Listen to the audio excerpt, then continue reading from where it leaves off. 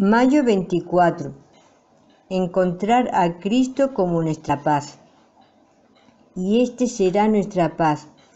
Cuando el asirio viniere a nuestra tierra y cuando hallare nuestros palacios, entonces levantaremos contra él siete pastores y ocho hombres principales. Miqueas 5:5.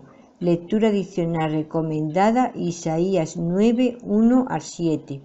¿De qué manera podemos atrevernos a creer la promesa de que en tiempos difíciles todo saldrá bien al final? Miqueas nos asegura que este hombre será nuestra paz. Deberíamos estar satisfechos, pues con la protección del Rey que Dios el Padre nos proporciona. Bástenos la sombra de ese Rey dado que estaremos lo suficientemente a salvo de todos los problemas. Ahora vemos el sentido en el que el profeta llama a Cristo la paz de su pueblo o de su iglesia. Dios lo describe así porque nos apartará de todas las cosas dañinas. Estará armado de fortaleza y de un poder invencible para mantener a raya a los impíos, para que no batallen contra los hijos de Dios o se interpongan en su camino generando conflictos.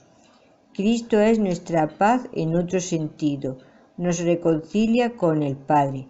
¿De qué nos serviría estar a salvo de los problemas terrenales si no tuviéramos la certidumbre de estar reconciliados con Dios?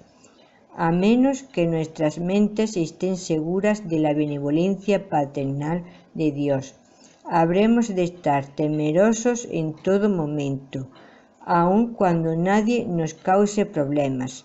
Aunque todo el mundo fuera amigo nuestro y nos aplaudiera, nuestro estado seguiría siendo desgraciado. Sin duda, nos sentiríamos inquietos hasta que nuestras conciencias quedaran tranquilizadas por la confianza segura de que Dios es nuestro Padre la única forma de que Cristo sea nuestra paz es reconciliando a Dios con nosotros. Paralelamente, el profeta promete que viviremos seguros bajo la sombra de Cristo, por lo que no debemos temer mal alguno. Porque, aun cuando Satanás nos ataque ferozmente y el mundo entero se enfurezca con nosotros, no temeremos nada si Cristo nos guarda y nos protege bajo sus alas. Meditación. La única esperanza real de paz en nuestro mundo es que los hombres y las mujeres encuentren la paz con Dios. Si la raza humana acudiera a Cristo, pronto veríamos la paz llenando nuestro mundo. Oremos, pues, porque el príncipe de paz reine en nuestro mundo. Mayo 24. No busques satisfacción esperando que Dios te la dé. No, busca a Dios y, como resultado, tu corazón será satisfecho. Es una de las grandes ironías del corazón. Si entregas tu corazón a la búsqueda de la satisfacción, la satisfacción será la única cosa que nunca encontrarás. Tu corazón nunca estará satisfecho con cosas materiales. No, tu corazón solo estará satisfecho hasta que descanse en el dador de todas las cosas. Si buscas felicidad, la felicidad huirá de ti. Muchas esposas me han dicho esto en sesiones de consejería. Todo lo que yo quería era un esposo que me hiciera feliz. Piensa en la dinámica que esa expectativa introduce a la relación matrimonial. Es obvio que cualquier mujer que diga esto tiene una idea de lo que significa ser feliz. Quiere un matrimonio de ensueño y ella está descargando ese sueño sobre los hombres de su esposo. ¿Quién es el esposo? Pues resulta que es un hombre imperfecto, que vive en un mundo caído. Es improbable que el marido tenga la capacidad para cumplir el sueño que ella espera que cumpla. Cuando le pides a una cosa creada que te satisfaga, le estás pidiendo que sea tu salvación, tu salvador personal. Esto significa que, de una manera práctica, está buscando horizontalmente lo que solo puede ser tuyo de forma vertical. En otras palabras, le estás pidiendo a algo en la creación que te dé lo que solo Dios puede darte. Ahora, el mundo físico tiene el propósito de ser glorioso, y lo es. Es una sinfonía multisensorial de innumerables glorias físicas, pero estas glorias no pueden satisfacer tu corazón.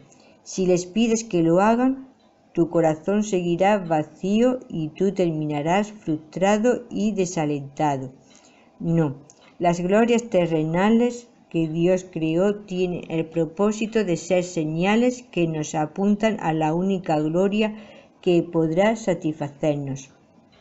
En resumidas cuentas, si buscas satisfacción, la satisfacción se esfumará de tus manos.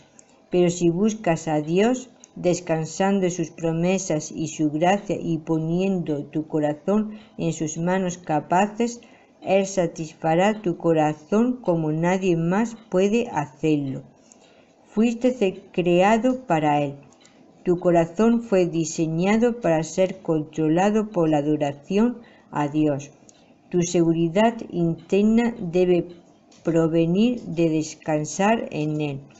Tu bienestar debe provenir de confiar en su sabiduría, poder y amor. La realidad es esta. Dios es la paz que estás buscando.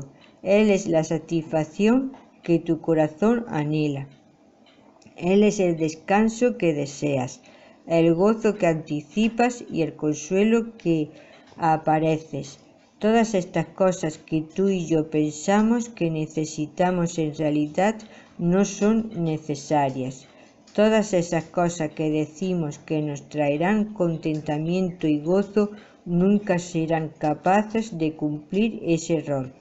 Lo que necesitamos es vivir en Dios y, mediante su gracia, Él está con nosotros, en nosotros y por nosotros.